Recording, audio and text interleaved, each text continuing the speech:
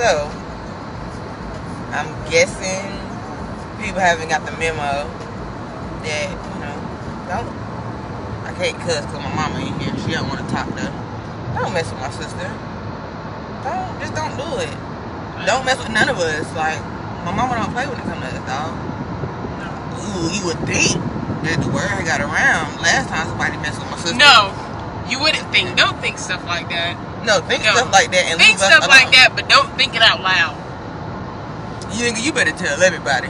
Cause if you mess with my sister, this is what it's gonna be. You see the highway? It's, it's up.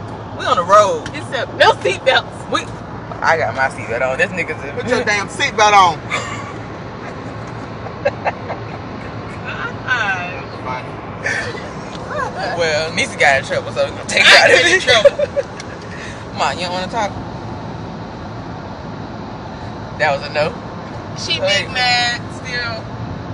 But look, I'm gonna say this. I'm glad my mama prayed before we got on this road, cause it, boy, I'm just leaving it at that. But leave my Right. sister alone, dude. That's that's just it. Anybody. This goes for anybody. That's right. Cat, dog, chicken, woman, man, baboon. I don't care. Leave him alone. Don't mess with him. Just stop.